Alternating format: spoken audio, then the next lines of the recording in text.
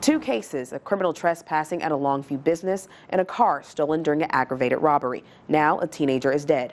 Peyton Whiteman is with me to take us through the details of an officer involved shooting in Longview. Channing, we're not really sure how 18 year old Detravian Allison is connected, besides being inside the stolen car. But this is what we do know from the Longview Police Department. It was a call for criminal trespassing at a business at 1040 this morning.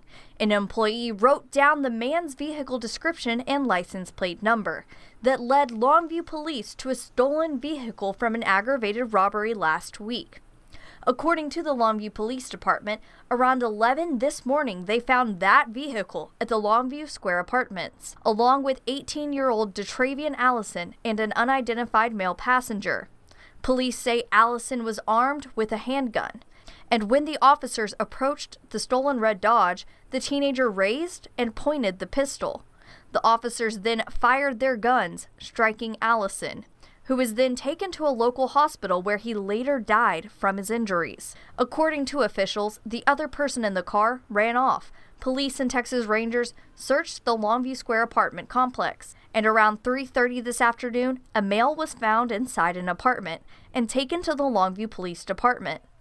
At this time, we do not know if the male was arrested or just taken in for questioning. The Texas Rangers have taken over the investigation for this case. The officers involved in the shooting will be on paid administrative leave. We've got you covered, Longview. Peyton Weidman, CBS 19.